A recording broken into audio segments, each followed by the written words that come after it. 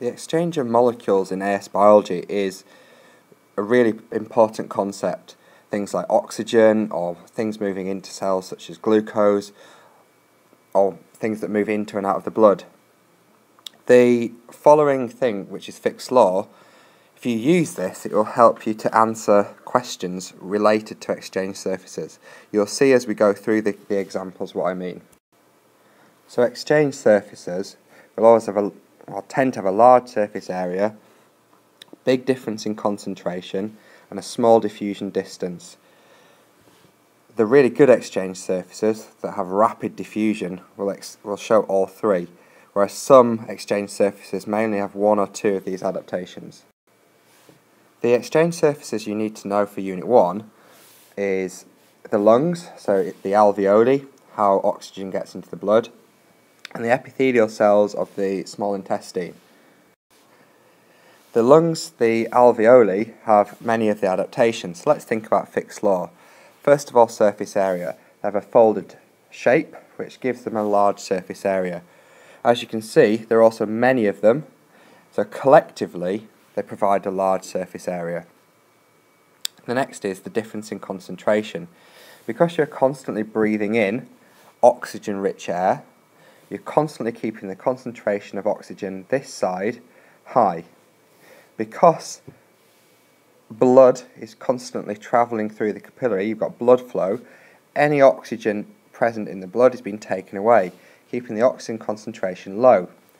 So you've got a high difference in concentration from a, so oxygen will diffuse from a high to low concentration across the thin alveoli wall and the thin capillary wall. That leads us into the last of the adaptations. There's a short diffusion distance. The one cell thick wall of the alveoli and the one cell thick wall of the capillary means that you've got a very thin diffusion distance, very short diffusion distance. So the alveoli and the lungs exhibit all three features of a good exchange system.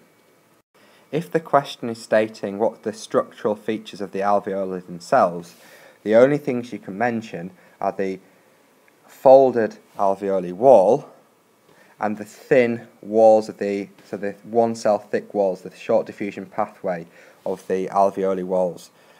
The fact that you've got ventilation and blood flow are not structural adaptations of the alveoli. They would be adaptations of the lungs as a whole. Here's a classic long answer question about um, alveoli, which just goes through what I've said. Epithelial cells in the small intestine, um, it's slightly different. The main adaptations of the actual cells themselves is that they've got microvilli. Okay, so they've got microvilli which increase the surface area. So that's the main way using Fick's law that they're adapted. They've got a large surface area using the microvilli. Epithelial cells also have to absorb glucose against the concentration gradient. So to help them set up a situation where they can absorb glucose using a co-transporter, they need lots of mitochondria to provide energy, to provide ATP, to help absorb molecules through active transport. Again, similarly to the um, what I said about the alveoli, the microvilli and the microvilli and the mitochondria are the structural adaptations. But because the nutrients are flowing past the in the lumen and you've got blood um, behind the epithelial cell, so you've got blood flow and flow of um, materials through the lumen of the small intestine, they help to maintain the concentration gradient, steep concentration gradient as well. Here's a long answer question. Uh, again, you can see um, where the marking points are. Exchange and transport is a huge part of Unit 2, and there are many things that you're expected to use the Fick's law equation for. First of all, the idea about surface area to volume ratio. So that as things get bigger, the surface area to volume ratio decreases. So that would be a description of the relationship. This can affect all sorts of different things. So things that are very, very small, because they've got a high surface area to volume ratio, they can often get enough oxygen into their bodies by simple diffusion. Things that are much bigger have to have exchange surface, specialised exchange surfaces like lungs and gills, or they have to have a transport system or both. So transport system like a blood system. Here's a question illustrating that. We've got to describe and explain. Fish gills are amazingly adapted for gas exchange. The reason being is the concentration of oxygen in water is far less than you find in air. So the fish has to be able to get enough oxygen into its blood. So let's think about Fick's law again. Surface area. What provides a high surface area? We've got loads of these gill filaments, so lots and lots of gill filaments. And on each gill filament, you've got many lamellae. And it's on the lamellae itself that the capillaries are found. So high surface area provided by many filaments and lamellae. Let's think about the concentration gradient. Well, the fish have the best method to main, maintain a high concentration gradient. They've got countercurrent flow. You've got blood, blood flowing in one direction and water flowing in the opposite direction. That always maintains a steep concentration gradient across the whole of the gills. Finally, the fact that you've got capillaries, which have a one cell thick wall, provides a really short diffusion distance. So fish, really well adapted. Each part of Fick's law is fulfilled. And here we can see that with the a long answer question. Capillaries are where exchange happens. So you need to know how a capillary is adapted for exchange. First of all, the, walls themselves, the wall of the capillary, the endothelium, is really, really thin. It's one cell thick, you've got squamous epithelium.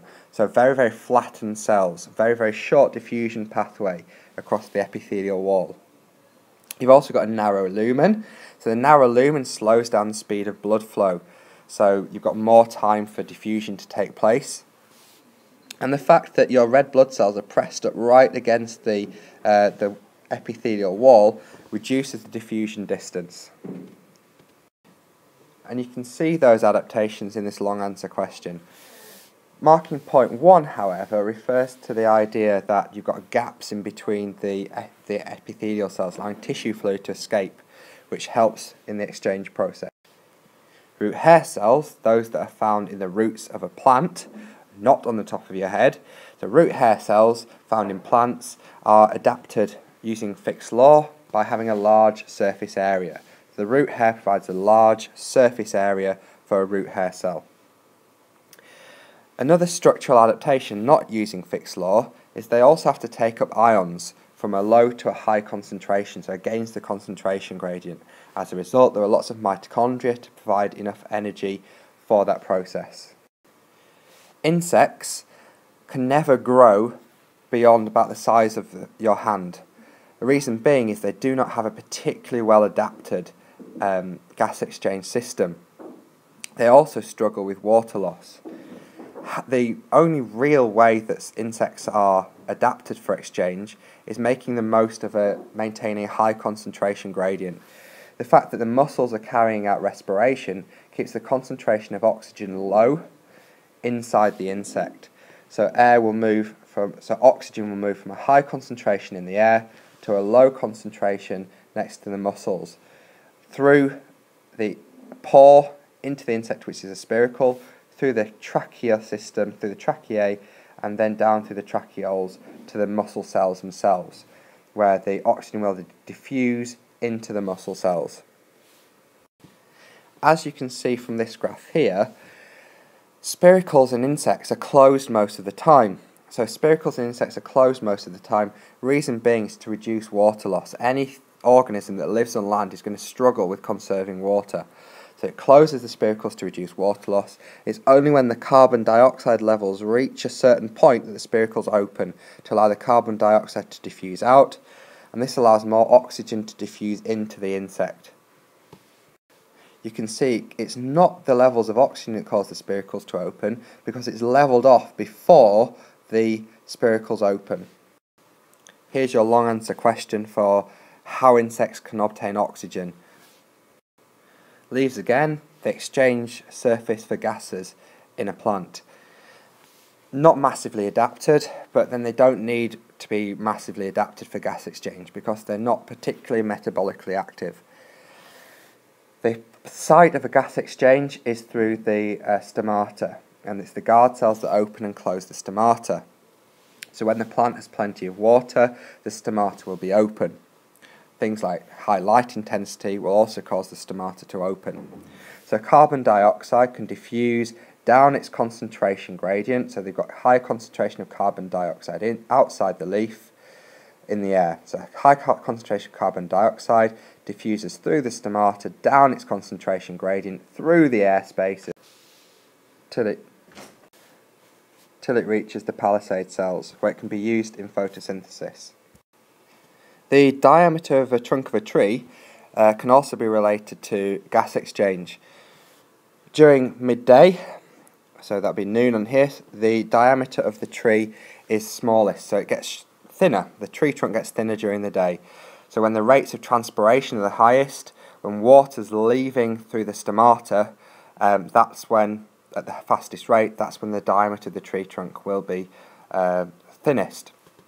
Times at night when the tree trunk is fattest, that will mean that rates of transpiration are least. There's not much water leaving through the leaves. And that this whole links in with the cohesion tension. Um, so as more transpiration happens, more evaporation from the leaf, it's pulling more water behind it through the continuous column up through the xylem. That creates tension, which is causing the diameter to shrink. Xerophytes um, can exploit uh, Fick's law to reduce the amount of water loss. So it's still kind of exchange, uh, but can reduce the amount of water loss. So for example, uh, sunken stomata, hairy leaves, rolled up leaves will cause a reduction in the water potential gradient. So that's reducing the water potential gradient, reducing the rate of osmosis of water loss out through the leaf through evaporation.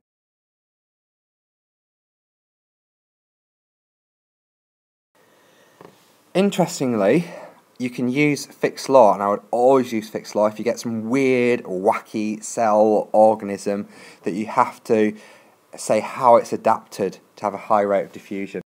So for example, here we've got a flatworm.